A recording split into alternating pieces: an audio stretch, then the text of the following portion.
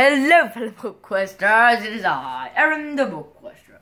Welcome to one of the last episodes of this house, and here I am. See, and this book is quite straightforward, and it will catch your eye and speed you along the story. I read it in 40 minutes. It's a great book. And Secrets of the Terracotta Soldier by Ying Chang Compestine and Vincent Compestine. I'm pretty sure they're related, if you didn't notice. And let's get right on to it. Ming lives in the village of Red Star, and his father is an archaeologist. His archaeologist father, however, is on the brink of losing his job if he doesn't find anything important in the village of Red Star.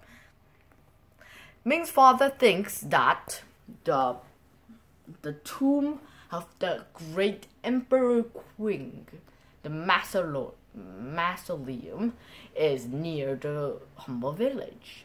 And what? Why in this dusty village would Emperor Qing's um, tomb would be? But when, so that is one of the reasons why that Ming's father is gonna be blamed and kicked out of his job and assigned to hard labor, which would be really bad. And also, and when Ming and three brothers, they are farmers, they found a sort of, they found, they found an earth god, which was a broken terracotta statue whose name was Shi. And, and when Ming took Shi, Shi into his house, it began to surprise, it began to speak. And it reassembled itself and then the basically the mayor who was nicknamed Goatface, she is a very annoying man and he took the terracotta soldier away. But the terracotta soldier escaped.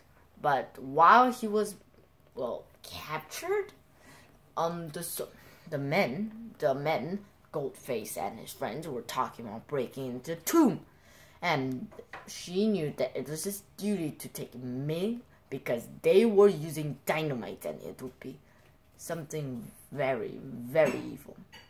And they knew that they had to alert the rest of the terracotta soldiers who was guarding the tomb. Later on, they still they later on the the May the, they broke in the tomb and all the traps even eh, with all the traps um, many of the terracotta soldiers were well broken into tiny pieces and all that stuff. And so they knew they had to do something. So Ming decided to tell the existence of the tomb to his father, and his father would make the place a um, kind of museum that no one could touch. It was done so, and the mausoleum was saved.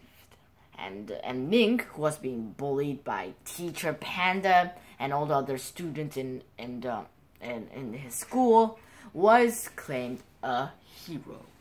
And happy ending, great book, great read. And like always, a book quester and the book quester. Great book, guys.